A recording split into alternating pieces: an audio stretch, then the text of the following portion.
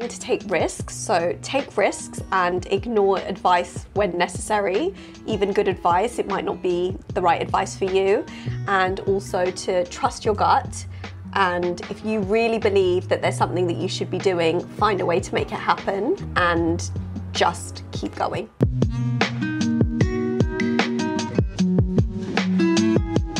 Welcome to Mindful Dream podcast, where we help you to not lose sight of what's really important whilst chasing your dreams. Today's guest is Nileeka Bose, who is the founder and creative director of the Bollywood Company, which is an elite South Asian dance group based in London. Over the last 10 years, she's overcome many obstacles to now be working with some of the world's most elite brands and clients. Today, the company is thriving, teaching a packed weekly schedule of classes, as well as creating bespoke entertainment packages for clients across the globe. Nilika has also choreographed for several Bollywood and Hollywood films and TV shows, such as Dancing on Ice and Incredibly, in November 2021, her choreography and dances graced Marvel's The Eternals. I really hope you enjoy listening. Welcome, Nileeka. It's great to have you on the podcast. It is lovely to be here. Thank you so much for having me in person, not on Zoom. So, how I actually found out about Nileeka is during the pandemic, she was organising these drive ins, and it was everywhere, all over my Instagram. So, I wasn't too familiar with Bollyco before that, but then I was just seeing everywhere that people were posting this big event that she'd organised. And then from that, I started following them as well. And some of my friends are part of it. And now I go to her, her classes as well. I know, literally every part of the business we managed to rope you in. Yeah. How was the drive ins? It was quite a trip, to be honest. It was not easy to put on. It wasn't the obvious choice because I think a lot of people were financially driven and not doing anything at that point because it's an expense, right, to be working when mm. when nothing else is happening, and also it's a risk to know if people would come because the advice was not to be going out. But then obviously drive-ins were happening and drive-in cinemas were happening, and we took it a step further and we did a drive-in concert. Uh, so yeah, it started off as mini cinemas, 50 cars, and then it went to um, slightly larger concept, about 100, 150 cars between between somewhere between them. And then we moved into the drive-in London, which is the biggest drive-in in the UK. 300 cars the mm. next year on the next lockdown. So started quite small, but then by the mm-hmm. time we were doing Bend It Like Beckham, we then built like concepts around drive-ins, and then so yeah. many people started um, following us. Yeah. And the other big thing you're coming up as well is your appearance in the Eternals. Yes, in um, Marvel's The Eternals, my probably biggest ever career highlight. Like, who knows when I'll ever have a credit that big, guys? So, um, my first choreography credit on a movie of that scale, a mm. Hollywood movie. So that's well, first up. of many. Let's hope. Let's hope. I have had an assistant choreographer credit, um, but not anything like this. And this yeah. is November fifth. Fingers crossed, all goes smoothly. Yeah. And like my scene hasn't been cut. Who knows? So from building like this company from like nothing to where it is today. Yeah. What's some common advice you got along the way that you disagree with? I mean, everyone told me not to do this at the mm. beginning. Firstly, I'm not I'm not Indian by heritage. I'm Sri Lankan. I don't have anyone in my family that dances. My parents have two left feet, they'll tell you. No one runs businesses in my family. Like the closest person is my aunt who's like married into the family. She she has a business background, but you know, there's not anyone that I can kind of say was my mentor. So mm. all things were against me and I think the older generation who want to protect you uh, always say follow a career with a path and you know, there are loads of people that follow careers with paths that are unemployed. So mm. I don't think that that necessarily is the way to get to a destination by just following a path. You have to have drive, you have to be passionate, you have to wake up every day motivated um, on days that you can't really find it. So, yeah, that was the advice that I completely would say I didn't take. Mm. Yeah. Was it hard to kind of reject that advice when you're getting all these inputs from different people? Yeah. And how did you kind of manage that? Because I know some people have a similar thing where they're trying to do something new, but the people around them are telling them not to do it.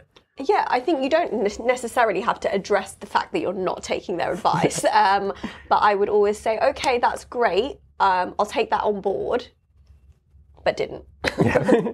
um, but yeah, it was it was interesting to see the the transition between like, oh, she's got this little dance company, or did you hear like my mum's friends would be like, oh, Ramani's daughter is like a dancer. Did you hear she's doing this and that? And then now like, oh, did you know she's in the Eternals? like Yeah. I think people rarely back you when you're starting something. And who knows? I mean, the Eternals is one credit. It doesn't have to be that specific moment, but I think a lot of people won't back you until it's something that they can identify with. Yeah. Um, but there's been so much more before this point that it would have been great to have their support. You know, Yeah. it is what it is. You mentioned there about like some days where you struggled to have the motivation. Was there any particular instances that were really difficult and how did you come through that and find your balance again?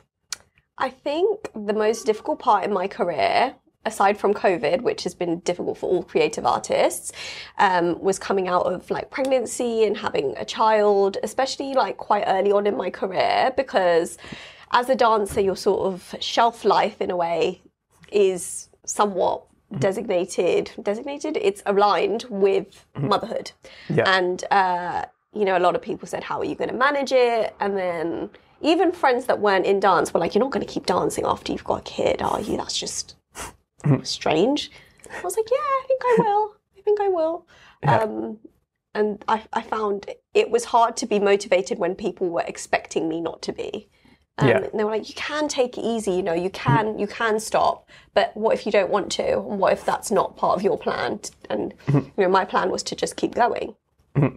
so yeah How did you find that again? So obviously lots of people do give up on dancing once they've got a family and things like that.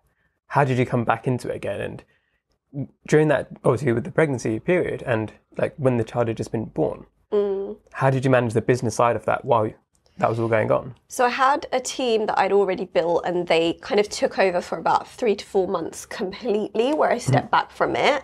But then coming back in, I'm complete control freak. I was like, what has been going on here? Like, where, what is this pricing? How has this been hmm. happening? But you know, you have to sort of draw a line and realize, you know, when you hand something over, Yeah. it just has to get done. It might not be your way. And my, my mum hmm. always said, look, you need to at some point let go of the let go of the reins. And I think getting back into it, I couldn't look at what had been. I just hmm. had to look forward and what the next phase of the company is. So it's been eight years now of Bollyco, right? Eight years of Bollyco, yeah. So was that kind of a dis- like a distinct phase before and after your pregnancy where having that bit of time away, I guess, might have been able to let you think about the longer term plans and the longer term strategy? Yeah. Did you change anything when you came back in terms of that vision?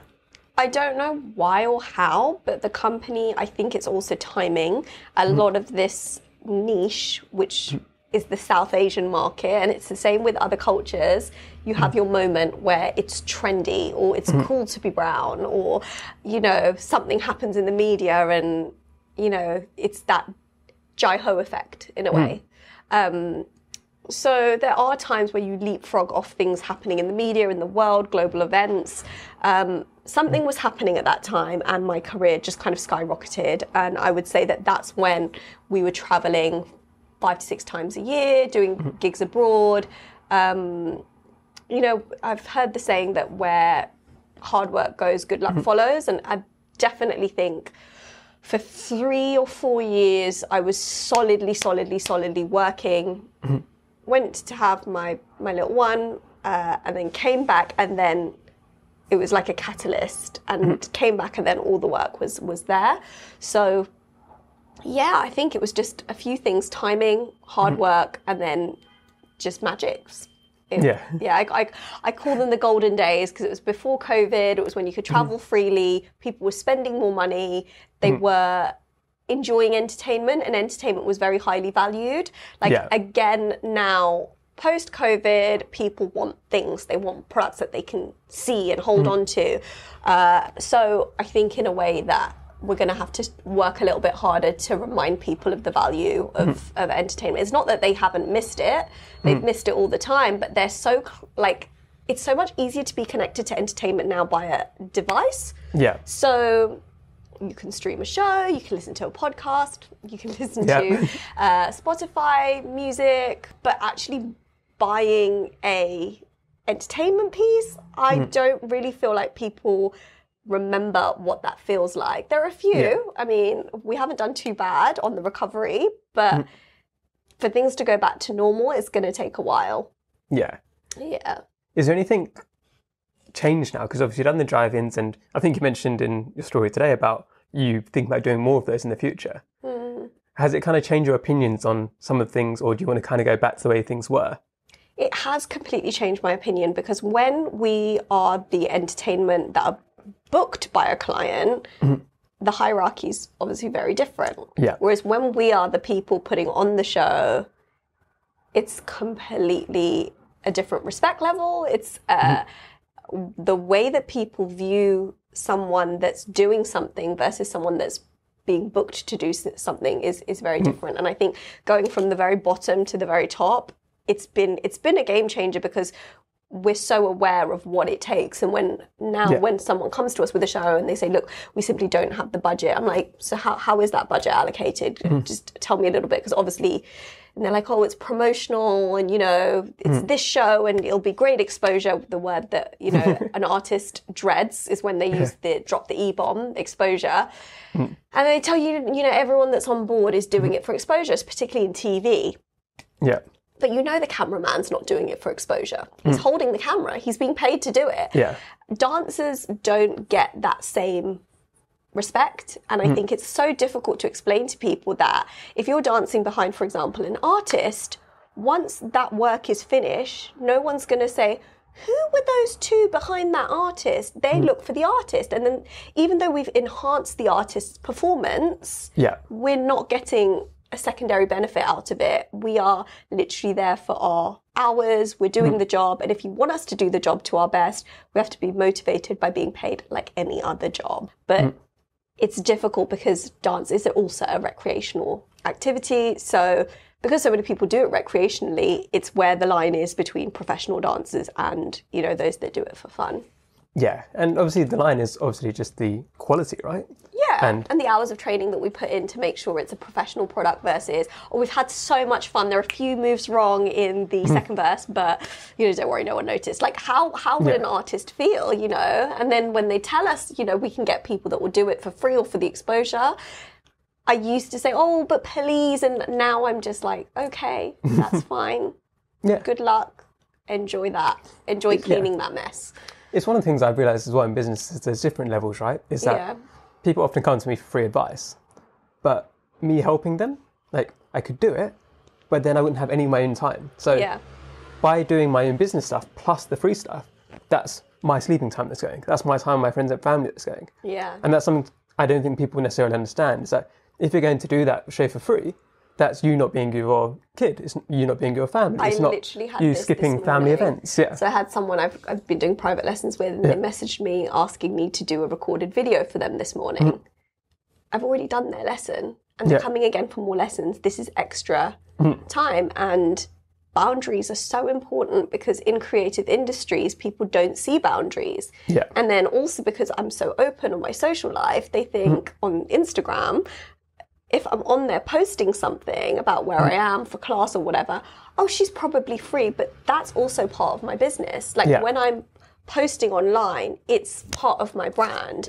Like I don't think people realize not a lot that I do is not part of that branding. Um, It's not like every detail is calculated or strategic, but if I'm out and I'm filming, it's because I'm on my way somewhere or doing something that's related to Yeah. my, my product.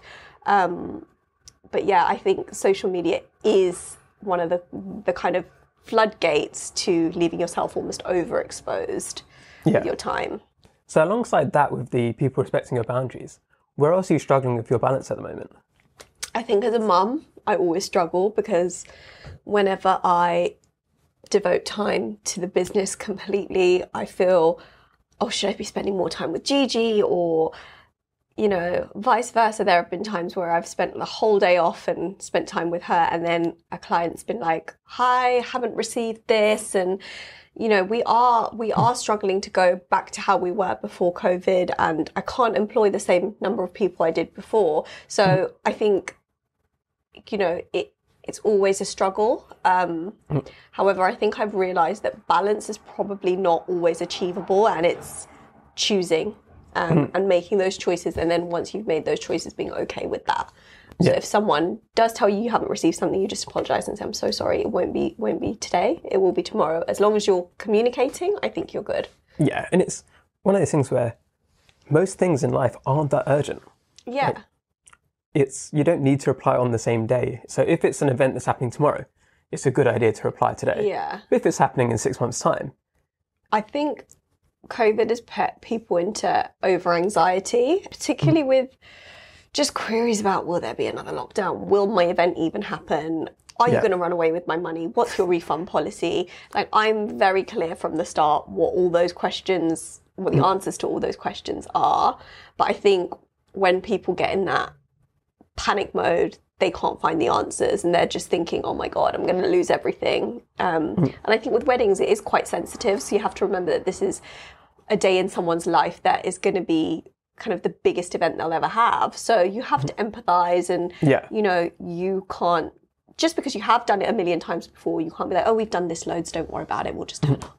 yeah, Which kind of sometimes I do want to say, but until that confidence comes from them, it's quite difficult to like make them feel at ease. You just have to keep reassuring them. Hi everyone, I hope you're enjoying the episode so far. I want to take a quick break to ask you to check in on yourself. There's many people struggling with balance, and there's nothing to be ashamed about. The tips that my guests and I share can hopefully help you along the way. But if you already feel overwhelmed or burnt out, it's probably best that you ask somebody for help too. For some, this might be a friend or family member, but others might feel like they have nobody they can talk to. If you're one of these people, check out the link in the show notes. It's for United for Global Mental Health. They've got helplines all across the world with people willing to listen on the other side. It's important to let somebody know how you're feeling. Now, back to the show. Do you find like as you've grown bigger and as you got the following and social media presence, that people are a little bit less worried? No, and honestly, changed. I never say to people like, "Oh, have you followed us on Instagram or have you mm-hmm. checked me out on this or. Yeah. look at my LinkedIn or anything?" Like I, do- I just don't. I I come at it from the perspective they don't know me. Because there are also a lot of like frauds out there on on social, and you Yeah. could be someone who's bought your followers. You could be someone who, you know, has bought a blue tick even because you can do that now. Um, so I think all I'm going to do that later, thanks. I think all you can go on is what you see in front of you. And if they don't feel comfortable with the person they're communicating with, I'm doing something wrong. So, yeah. yeah, I, I try not to. Not, not from your perspective, but in terms of the people outreach to you.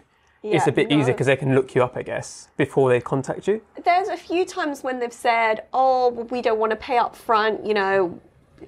And I just said, look, here is my registered company number. Yeah. This is Companies House. Please feel free to do the research. My accounts are all filed, like mm-hmm. as you wish.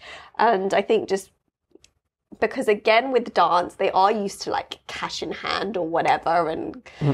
They always ask, you know, would there be a discount? And I just say no, like there's hmm. no discount for anything because we need to live and eat.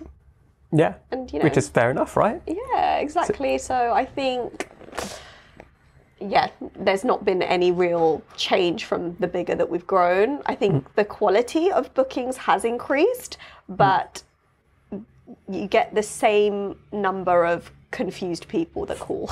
Yeah. Definitely, if not Yeah. more.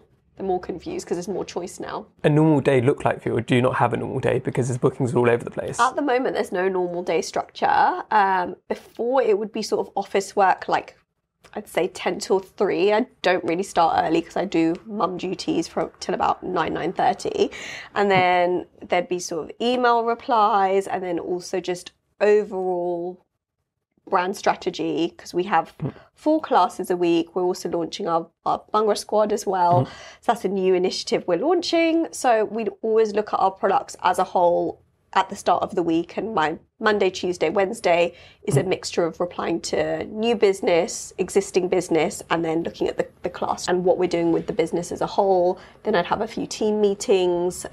My teachers are all sort of experts in their dance style. And although they teach individually, we are very much a brand. So they need to know what's going on with the brand. Like, hmm. what's our direction this month? Like, what are our targets? How's everyone doing? And then we kind hmm. of try and bounce off each other and, you know, try and help each other. And for example, if my class numbers have been great, then I'd say, okay, so this week I'm not really going to talk about my class. It's going to be a push on semi classical, or, Yeah. you know, I will look at which teacher wants the support, and then we'll also look at what the new releases are in Bollywood, see what films are coming out. Um, and yeah, a lot of it is connected to the industry that we're passionate about. Um, so yeah, that's what a typical. Yeah, and so obviously Gigi's back at school now. Mm-hmm. Does that make things a lot easier, or is it not too different? It is much easier because you don't have when you're on a call someone pulling your leg, going, "Mummy, mummy." I want to watch this or that or change the channel or she actually does not care. Like if I'm on the phone, she will talk louder. And then if I'm answering, for example, a wedding inquiry, like, oh, that's beautiful. What a lovely venue. Can I come? It's like, no, darling, you can't come. It's, it's an inquiry. It's a client. Um, but yeah, it's it's interesting, and I don't think I'm going to be the first or the last person to run a business with a child. But I think because it's dance, people find it so interesting. Mm. and the comments that I get, like, "Oh, you got back into shape, and you're I can't believe you're a mum," and you know, I, you just think, what what do you expect a mum to look like? Like mm. dowdy, dried out, like on the shelf, like no no motivation to live other than her mm. child. I don't want to be that person. Like Yeah. I never wanted to be that person, and I want you know my daughter to look up to me and think she can do everything. She doesn't have to have to pick whether she's a mum or a dancer. She can, Yeah. yeah. Do you think at the moment she kind of wants to be like she looks up to you in the dancing in particular and tries to emulate you? Definitely, she can't. She can't actually. she can't actually dance to rhythm yet. Is it Um, skipping a generation? Could you say your parents? give- yeah, it's, Yeah. my grandkids will be great. Yeah. Um, but yeah, she's not really into dance, to be honest. She's interested by the business, and she she loves the idea of telling people what to do, yeah. but not so much the dancing. Yeah, it's wasted on her. Unfortunately. What you're looking to in the future now? Mm-hmm. What do you want your ideal lifestyle to be? Is it going back to that kind of ten to three and doing dance in the evenings, or do you want to mix that up? I would love things to go back to how they were. Also, the drive-ins that we mentioned earlier to build products, not necessarily drive-ins, but like that, like concerts, awards shows. I've proven to myself that I can do it, and that's all, what it was always about: proving it to myself, not to others. Because I think if you start a project thinking that you've got to prove it to someone else, you're never going to be satisfied. Yeah. There's always going to be negative comments, and we did mm. get a few negative comments, and because I did it for myself, they didn't bother me. yeah. So yeah, being able to charge whatever I want, well, what I feel we deserve. Like even now, I don't feel like we're charging what we should be. Um, and then also just helping continually push the industry up and not just, you know, keeping all that good energy for myself. I like to spread that amongst the South Asian dance community as well. So more events that involve different types of dancers and different types of creatives as well would be amazing. Yeah.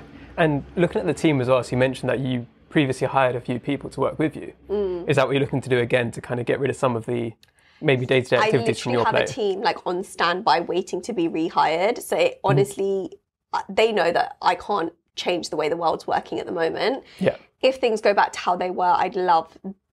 They still work on a freelance basis because they they love the company so much. But I know that their ideal would be to, to go back to that situation. but it's just it's just not picked up yet. Yeah. In, in like an ideal world, which kind of parts of your job at the moment would you get rid of or you'd push into somebody else and let somebody else manage that? Oh, the admin. Like, I am hmm. not good at admin. Like, hmm. you know how long I take to reply to like a WhatsApp or whatever. Like, the the little things that take time for me feel like quite big things because I have got to a stage in my career after 10 years that I don't really do them anymore. And I hmm. had a PA full time for three years, and to not have one now is really like difficult. Um, so that part I wouldn't do because I think I'm much better at the creative and you know the, Yeah. the top line decision making and the planning and strategy, and you can't do that at the same time as like placing a delivery order for 10 dancers, which now I have to do because Yeah. if you don't do them, people don't get fed and, and stuff like that. So yeah, it's it's quite difficult to balance, but you know, I'm trying to see where we can get projects where I can bring someone in freelance to PA for a few days. Yeah, because it's similar thing to what I'm doing at the moment is that I've got the kind of bigger strategic things like I'm going to write a book, I'm going to do all this other stuff. but then at the same time, I'm one person company. So I'm managing all these other little bits and pieces. And what I'm You trying have to to do, do them as well Yeah. because if you don't do the little bits, you can't work towards the big bits because people are like, oh, they're they're rubbish. They haven't got back to me on this. So yeah. And it's what I'm trying to do is build those systems which I can then palm off. yeah, And I think that's because you said mentioned before as well, like you like to control things. yeah, So if you've got your process and you can write that down and somebody can follow it, yeah. it just gives you that confidence, right? Yeah. And that's what I'm trying to do too. It's like for like editing this podcast, I'm doing it myself at the moment, but I want it to be somebody else who does it, and it frees up time so much every time. week, right? Yeah, And that's time which I can then do in the bigger picture stuff, like you mentioned. yeah. So for the people listening today, what's one mindset shift you think they could make that'd make a positive difference to their lives? I would say one thing that I did was learning to take risks. So take risks and ignore advice when necessary, even good advice. It might not be the right advice for you. And also to trust your gut. And if you really believe that there's something that you should be doing, find a way to make it happen and just keep going. Yeah, is there anyone like you you know in the past as well where they've taken that risk and they're really nervous about it and you help them to go through it and to then chase their dreams too? I guess you see all the time with your dancers, right? Actually, there is someone called Sean who uh, his name's Sean Thomas, and I met him on Instagram, and he is a fantastic dancer, and he was posting just stuff where you could not see how great a dancer he was. And obviously, as a mm-hmm. trained dancer and someone who's built my own brand, I would find things that he was posting and I'd send them back to him and be like, crop this mm-hmm. second to this second, post this as a mm-hmm. reel, see if it makes a difference. And he started doing a few things like that. And he was like, wow, thanks so much. Like, why are you doing this for me? I'm like, because I believe in you. And, you know, you need to make things happen for yourself. So then lockdown happened, and then I started mentoring him. Mm. Guy's nearly got more followers than I have in such a short space of time, but he's grown exponentially because he completely dedicated himself mm. to growing a dance company, basically similar to what Bollyco has, mm. um, over in New Zealand, and also exponential social growth, which is something he, as a filmmaker, he had a background in filmmaking. So it's ah. like, dude, you've, got, you've literally got all the ingredients here of success. And yeah, he then just, yeah, made a great decision to full time commit to dance. He's doing really well. His classes went from like four people to 40, and you can't even get a spot in his classes now, which is amazing. Yeah, it's just that thing. I think so many people limit themselves because they don't think they can do it, even if other people can see it in them. Yeah. And it's like when the thing about anybody who got big, right? They're all just normal people. Yeah. Like they had to start from somewhere, whereas we think, oh, they were born with it, or they came out of like the womb with like this amazing talent. I was like, no, like they had to work their way up, and they just had to have the confidence. I think a lot of people don't have that person though who believes in them Mm-hmm. and sees it through to completion. I think with mm-hmm. me and Sean, like even now, if he needs anything, he can message me and I, I Yeah. will help whenever I can. And uh, I think that having someone that you can just ask is, you know, don't underrate that asset. If you've got someone in your life that you can literally ask a question at any time, doesn't matter mm-hmm. if they're in the industry or not, but having somebody to lean on is the biggest thing an entrepreneur mm. could ever ask for. And I've had someone, my my best friend Sanya, who, you know, her background is in social policy and also in understanding these minority groups. And mm. that's not dance, that's not fitness, that's not any of those things, but that's my target audience. And actually when I mm. ask her a question, the response she gives is so thought out, so heartfelt, and so insightful that actually that has been such a a benefit to me. Yeah. I'm not just asking someone who doesn't really care. I think you can ask friends that you go to uni with or that you've had as childhood friends, but their responses will be, I don't know, mm-hmm. give it a try, like just keep going or whatever. But when you ask someone who has knowledge in that area, mm-hmm. it's like gold Yeah. for, for an entrepreneur, really. And I think one thing that's interesting about your relationship with Sean as well is that what people often try to do is find a mentor without really proving why, like, you should believe in them, right? Whereas it kind of happened in the reverse way. And I think it happens a lot with me as well is that if I see somebody who's doing something good and they're trying their best, I want to help them. Yeah, for sure. Like he didn't ask me to mentor him. I was after a while of me sending him these messages and telling him Yeah. what to do. He was like, "Do you want to formalize this?" And and I said, "Look, I don't have time to build a mentee mm. package, like or mentor package Yeah. or whatever. I, I don't have time to because if I start doing that." It's going to be another business and hmm. I'm doing this from my heart because I believe in you. So Yeah. we would literally just keep it quite informal, have a few catch ups here and there. And then I did this thing called The Daily, which was daily motivation for people during hmm. the first lockdown because we all thought that was fun and games. And we were like, what's going on here? Like everyone's on the Houseparty app. Yeah. Let's just make it into a morning club. And he joined that. Um, and we had a few entrepreneurs and celebrities hmm. on there. And I think he, it gave him that spark to, to start thinking, mm. I don't need to just look up to one of these people. I can be one of these people. Yeah. So the first thing I recommended him to do was to read the book. It's not who you are, it's who you want to be. Mm-hmm. By, I think it's by Paul Arden.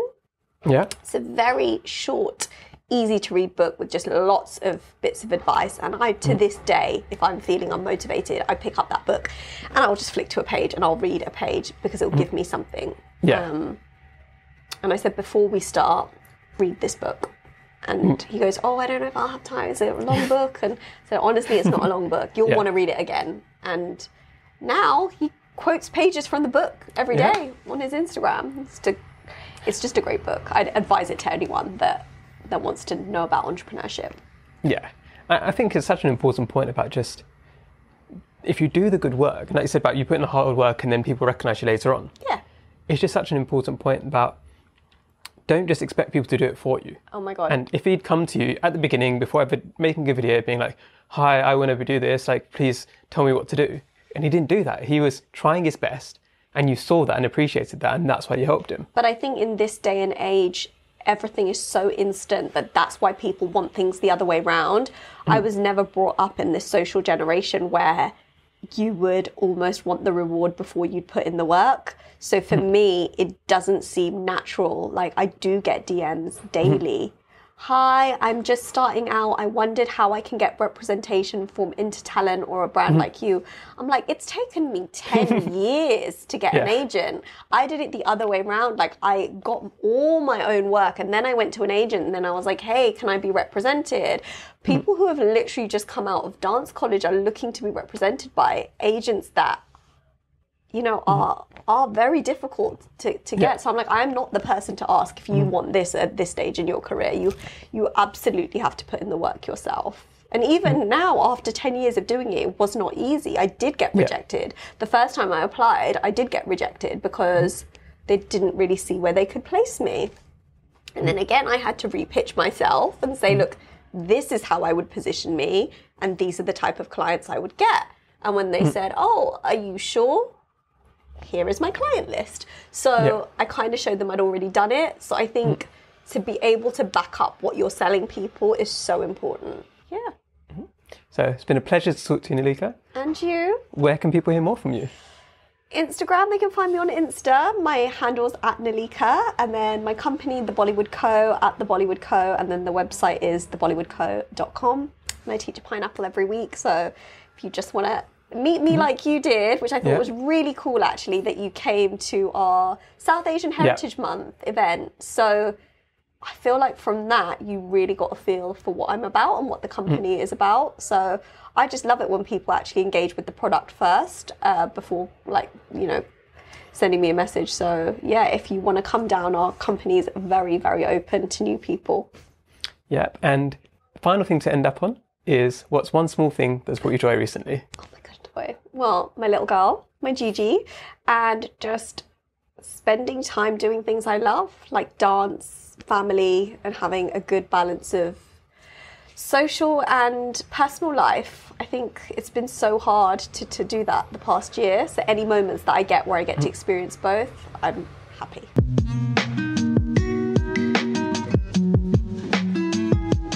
If you're listening on Apple Podcasts, I'd love it if you could leave me a five star review.